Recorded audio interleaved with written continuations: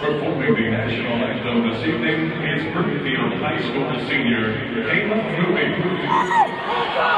Our oh, sister. On the sideline are the seven-year-old Golden Demons football team from Jefferson County, one of the 11 leagues nationally to participate in the rookie tackle pilot program. It's on the big screen.